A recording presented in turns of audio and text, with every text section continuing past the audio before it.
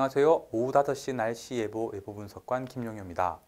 오늘 우리나라는 30도로 넘는 무더운 날씨에 전국 대부분 지역에 소나기가 내렸는데요. 매우 강한 소나기로 인해 호우특보가 발효된 곳도 있었습니다. 소나기는 내일 새벽 서쪽부터 그치기 시작하여 아침에 모두 그치겠으나 충청 내륙과 남부 내륙, 제주도에는 내일 다시 소나기가 내리겠는데요. 차트를 통해 앞으로의 날씨 전망에 대해 알아보겠습니다.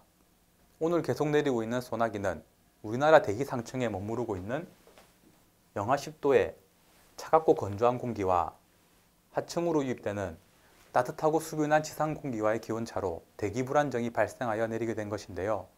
40도가 넘는 기온차로 인해 대기 불안정이 강하여 돌풍과 천둥 번개를 동반한 강한 소나기가 내렸습니다. 또한 내일까지 내리는 소나기도 강하겠는데요. 내일 아침까지 중부지방과 전북, 경북 내륙, 제주도를 중심으로 30에서 80mm, 그 밖의 지역은 5에서 60mm가 내리겠으니 비 피해 없도록 유의하셔야겠습니다.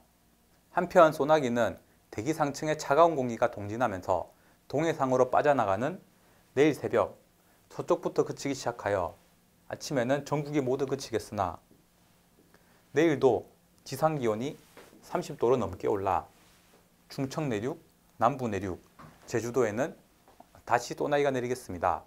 하지만 오늘에 비해 상하층 간 기온의 차이가 작기 때문에 강수량은 5에서 40mm로 적겠습니다. 마지막으로 태풍 정보에 대해 알려드리겠습니다.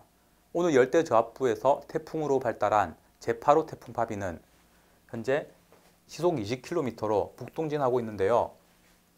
24일 제주도부터 태풍의 영향권에 들어 27일까지 전국이 태풍의 영향권에 들어갈 것으로 예상하고 있습니다.